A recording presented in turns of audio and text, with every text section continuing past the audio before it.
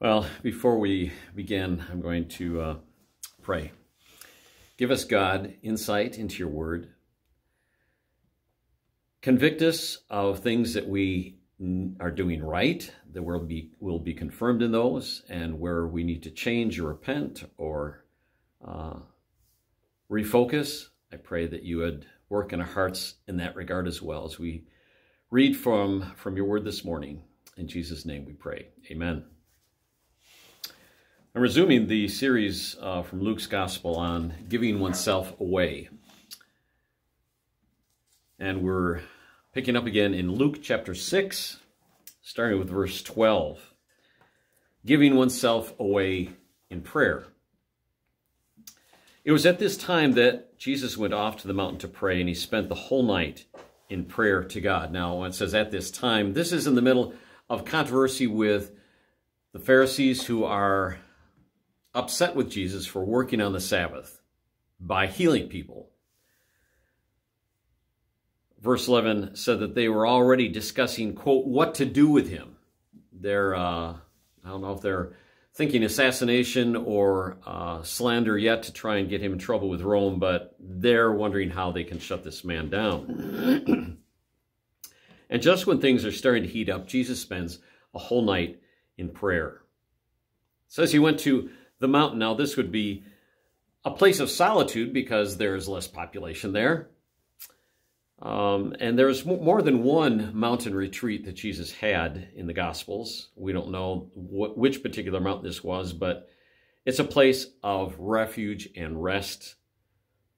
Um, the opening phrase of verse 13 says, And when day came, indicates that there's a link between his night spent in prayer on the mountain and his selecting, uh, appointing 12 of his uh, disciples to be apostles. He spent the whole night there. Whenever I read that, I don't know about you, but I'm challenged because I don't know if I've spent, other than sleeping, I don't know if I've spent a whole night doing anything other than a couple times in college where I did an all-nighter and tried to stay up to cram for an exam or something. Uh, but definitely, uh, speaking of conviction, it's one of those things that, hmm, am I that concerned about connecting with my Heavenly Father to spend a whole night in prayer. And you can speculate as to what Jesus was praying about this whole time. I mean, if you spent half an hour in prayer, what would be what would you be praying for? Well, here's a whole night. Um, it doesn't say that he has a special list of prayer requests. Uh, in fact, this was something Jesus often did, maybe, maybe not necessarily for a whole night, but Luke 5 says that Jesus himself would often slip away into the wilderness to pray, just to spend time with his Father. It would make sense that Jesus would talk with his Father about the current situation, about going wider with his public ministry, about facing the opposition, and particularly about selecting 12 of the disciples around him to be apostles. Giving oneself away, though, is to give oneself away to dependable disciples. It says in verse 13, And when day came, he called his disciples to him and chose 12 of them, whom he also named as apostles. Now, he called his disciples to him, which implies, well, think this through. He's on a mountain. How does he call people to join him? Except there must have been somebody with him that night on the mountain. Maybe they didn't pray all night, but they were with him so that he could send one or two of his uh, friends or apostle uh, disciples to go and gather people to join him on the mountain. We're not told who the runner was, who the messenger was, but that's probably what happened. Now, this occurs after Jesus had already called disciples. There's a couple terms here. One is disciple, one's apostle. More on that in a moment. Um, Peter described them as men who accomplished, uh, this is from Acts chapter 1, where Peter describes these disciples as men who have accompanied us all the time that the Lord Jesus went in and out among us, beginning with the baptism of John until the day that he was taken up from us. One of these must become a witness with us of his resurrection. This was when they're discussing who to, how to replace Judas. That there were others that had spent this entire three years traveling with Jesus. Now, maybe not 365 days out of the year, but certainly that they were constantly um, involved in Jesus' ministry. Has included women as well as men, uh, and a lot of them are anonymous. We don't know who they were. But at this point, Jesus isn't recruiting disciples, he's commissioning 12 apostles, and he chose 12 of them. I, I don't think God necessarily gave him this list of names ahead of time, even while though he spent a whole night in prayer. I don't think he came down from the mountain and or, or, or stayed on the mountain and gathered people to him and, and said, okay, here's the list. Here's the roster that God the Father has given to me. Because why would you gather all these people together when you only need to select 12 of them? Um, I don't think it was done to let others know that they didn't make the cut, as it were. Um, and it wasn't necessary to make a public announcement of, okay, here's the 12, everybody, these are, these are the apostles. I think would be evident who they were. Rather, I think this was something like when Samuel uh, went to Jesse's home to select the next king of Israel. Saul had, was being deposed by God himself, and God sent Samuel to choose the new king, anoint the new king out of Jesse's household. And one by one, starting with the eldest, they all came forward. And, you know, there are a few times when Samuel thought, oh, this is the one. He looks, he looks good. He looks strong. He's tall and brave and handsome or whatever. And God said, nope, nope, nope, nope, nope, nope.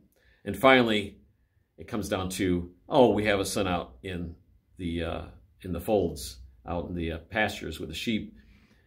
David comes and God says, this is the one. This is the man. Anoint him.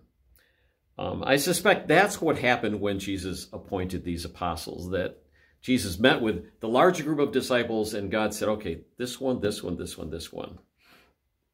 So what's so special about these 12? Well, apostello literally means sent out one, somebody who was sent out, somebody who was commissioned to go out. And during Jesus' time on earth, there were times when he would send them out um, on various missions to minister and heal and to cast out demons, uh, to teach. Um, one of my instructors in seminary was a guy by the name of Robert Coleman who wrote a book, it's a thin little book called The Master Plan of Evangelism, and it's built on a larger book, Training of the Twelve.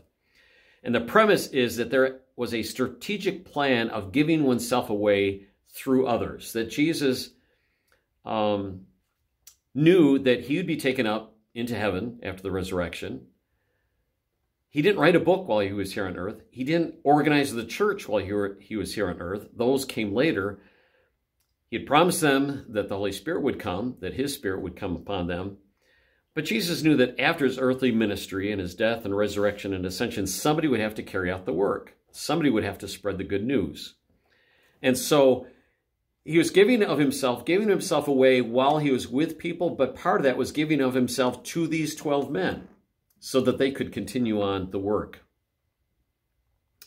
And then we come to this list of the apostles, and I'll comment on most of them. Verse 14 says, There was Simon, whom he, Jesus, also named Peter. Peter was usually the first to speak among the 12, and he was their de facto leader uh, during and uh, after Jesus' ministry. And Andrew, his brother.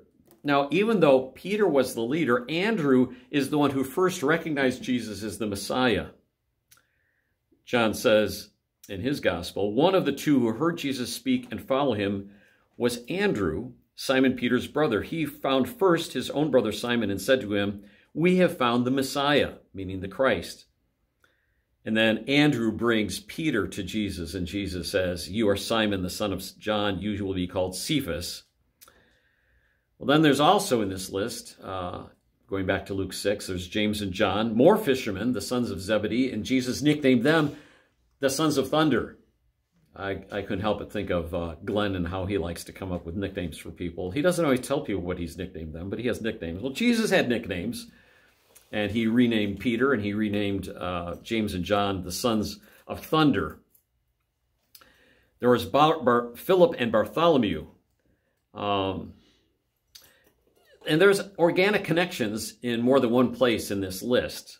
Uh, and that might give you some insight into how Jesus strategized to build the church.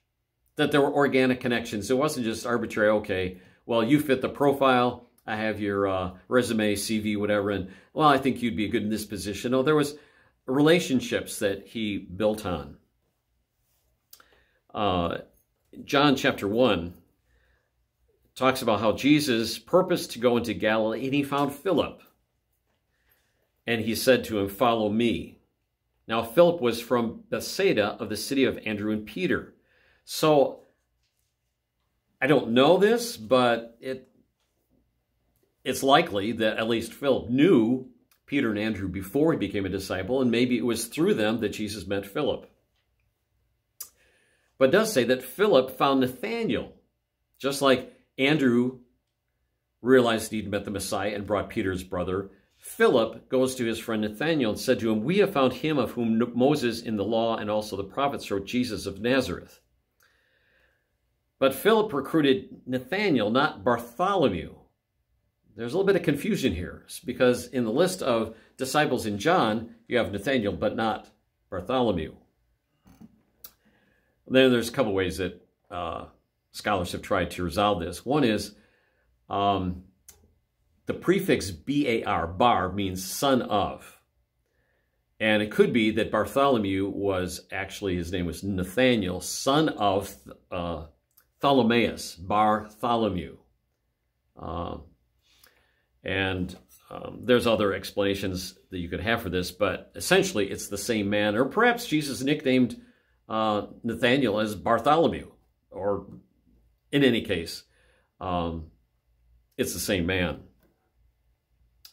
Uh, later on, James, there's two uh, men by the name of James in Jesus' apostles, and one was the son of Alphaeus, and Judas Iscariot is later known as the son of Simon. So it is not uh, unlikely that Nathaniel could be known as Bar Tholomaeus. but there's more than one apostle. Oh, I'm sorry, I skipped over Simon, who is called the Zealot. Uh, the Zealots of that period mixed religion and politics to overthrow Rome. That was their goal, and their objective. Um, I, I'm always intrigued how Jesus selected, you know, fishermen, Matthew the tax collector, and here's this radical who was uh, ready to um, do what it took to overthrow Rome and you know throw in a little bit of religion with politics, and that can get volatile. Hence the name or the term zealot. Giving oneself away through these apostles, though, um, leaves one more name in the list. Verse 16. Judas, the son of James, and Judas Iscariot, who became a traitor. So there's two, two apostles by the name of Judas.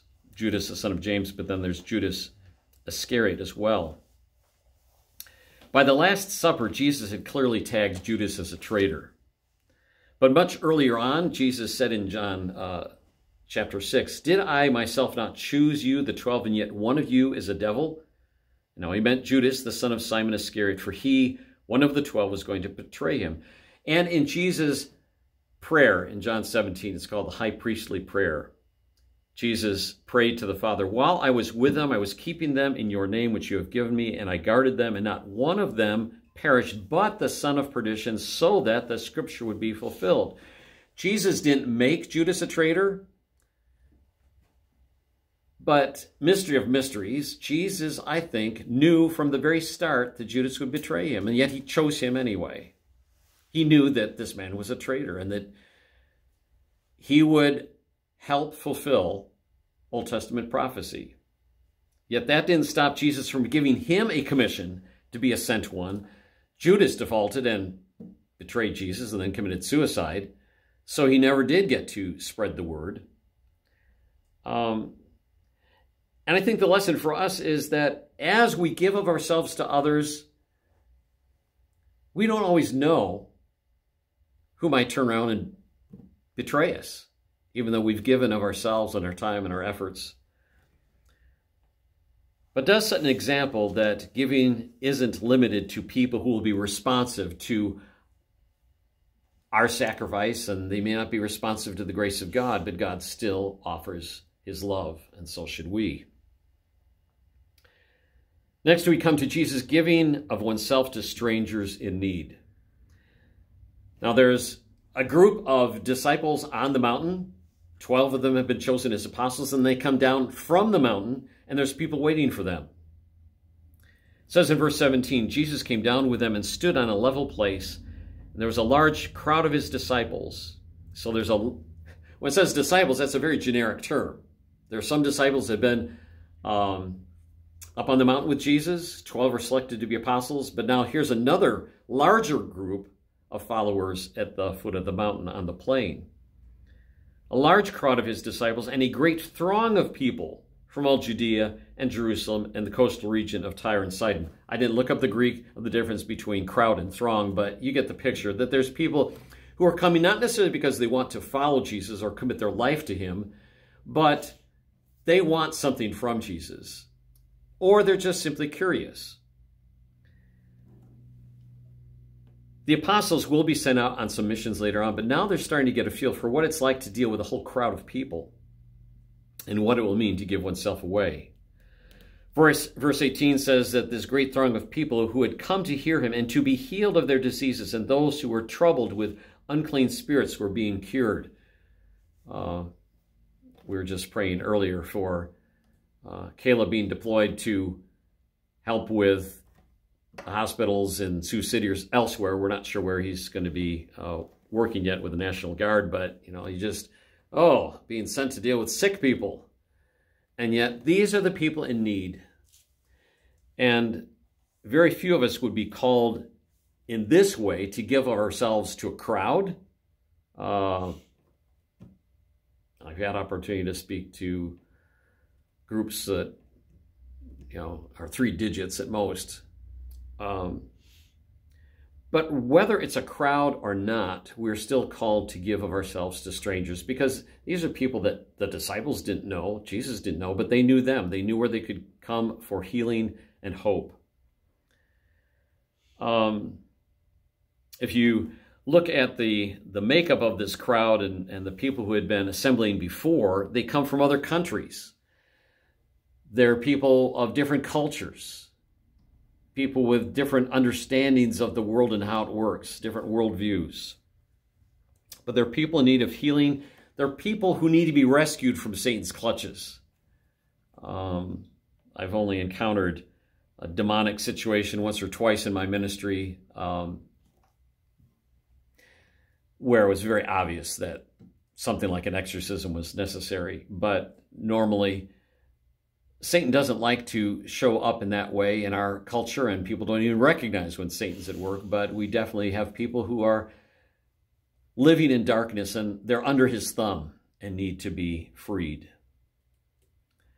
And lastly, we come to Jesus giving of himself by sharing his energy. Now, I'm, I'm using that term very loosely here. but verse 19 says, all the people were trying to touch him. Now you can, I can't imagine what it'd be like to be in a crowd and all these people are jostling around trying to get, I, would be, it'd be suffocating. You know, no social distancing here. They're crowding in trying to touch him because power was coming from him and healing them all. So even those that he didn't address or talk to specifically, um, and again, this is not a direct correlation. I don't think God has given, given us the power to walk up and down the streets and people just reach out and touch us and they're healed. But this did happen more than once in Jesus' ministry. We have one specific example in Luke chapter 8 where there's a woman with a hemorrhage and she'd been to doctor after doctor, spent all her money on doctors. None of them could cure her. And so she, you know, she's embarrassed, but she sneaks up through the crowd and reaches out to touch the fringe of Jesus' cloak and she's healed. And Jesus said, Who is the one who touched me? And while they were all denying it, Peter said, Master, the people are crowding in and pressing in on you. But Jesus said, Someone did touch me, for I was aware that power had gone out of me. And then the lady comes forward and admits, I'm, I'm the one. And, and uh, this didn't yet diminish his power to heal. But I think there's a reason why Jesus like fell, could fall asleep in a boat in the middle of a storm. There are days when he was just worn out. Because even though he had divine power, he was also a man and he had his limits. Which is why in Mark 6, he told the disciples, and I think he probably did this more than once, he said, Come away by yourselves to a secluded place and rest a while, for there were many people coming and going, and they did not even have time to eat. I'm sure you have had days like that where you get so busy with work. Oh, no wonder I'm hungry. I didn't have lunch today.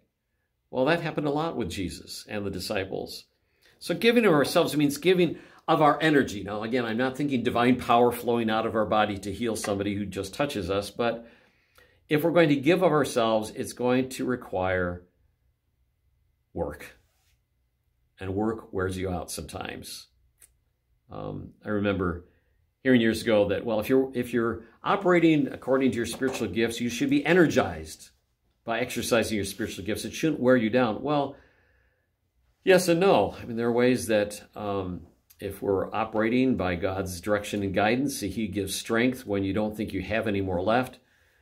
But it is giving of oneself, and it may be giving of our energy in a very direct way. And so let's turn to God in prayer and ask us, ask Him to send us out. We ask you, God, to send us with the grace to pray, grace to invest in others, to even give to those who may turn against us, or to give to strangers we may never see again. In the name and by the example and power of Jesus Christ, we pray. Amen.